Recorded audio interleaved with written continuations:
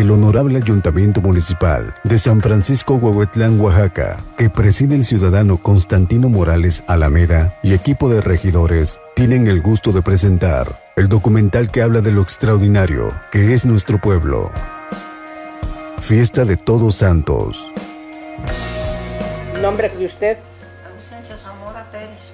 Queremos que nos platique usted de su ofrenda. Esperar los muertos y cada año estamos, esperamos y lo, lo ponemos para que ellos vean si, como dicen que llegan, pues ya nosotros ponemos las, las cosas, la fruta, el pan, lo que comían pues. ¿A quién ofrenda usted? Ese es eh, mi señor, se llamó Benito García Martínez. Mi hijo se llamó Daniel García. Pues le pongo su veladora, o sea, el pan, eh, la, este, los plátanos, y lo que, ahora sí que lo que comíamos. ¿ah? Y al mañana ya le ponemos este, la frente, se le va a poner el mole aquí, el mole y el tamal se le va a poner su plato. Es que así tenemos, ¿ah? ahora sí la costumbre. Pues este, ahí falta todavía, todavía no llega mi pan, que también apenas van a traer más pan. Este, el mezcal ahí tiene su cerveza. ¿Y a su hijo también qué le gustaba tomar?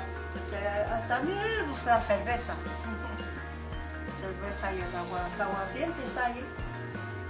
Si no le ponen las ofrendas a sus difuntos, ¿qué pasaría?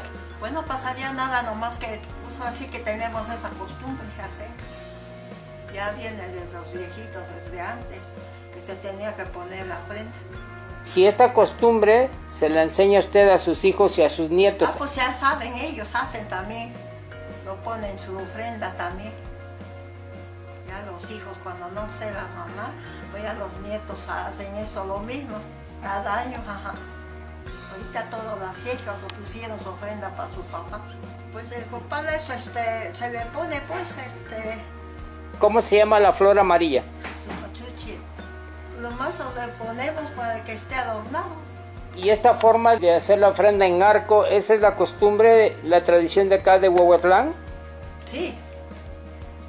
en Ajá, arquito. Sí, porque lo del carrizo dicen que, que si no pone uno carrizo, que no, que tiene que ser carrizo, poner la ofrenda.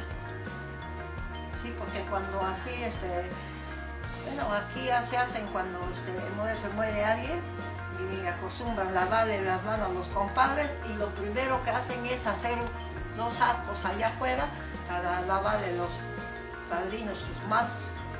Cuando para eso lo ocupan también el carrizo. ¿Cuándo levantan la ofrenda? Mañana, pasado mañana, hace como otros tres días. Cuando levantan la ofrenda y, y comen los alimentos, el mole, la fruta, ¿sabe igual?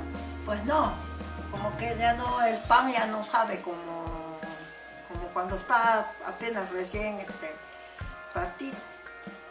Como que agarra otro sabor. Dicen que los muertitos cuando nos vienen a visitar se llevan el sabor de los alimentos, por eso pierde un poco su sabor. ¿Será cierto? Pues yo creo que sí. Digo yo, pues así tenemos la costumbre. Repítame su nombre. Ausencia Zamora Pérez.